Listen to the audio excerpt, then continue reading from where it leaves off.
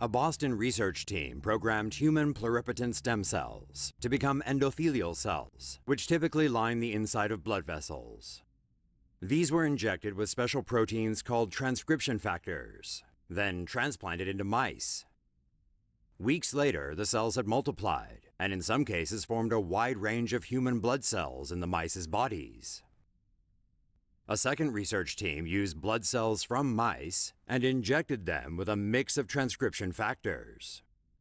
The cells morphed into stem cells after incubating in petri dishes designed to mimic a human blood vessel environment. When injected into weak mice that had been treated with radiation, the stem cells regenerated both blood and immune cells. The mice recovered and went on to live full lifespans.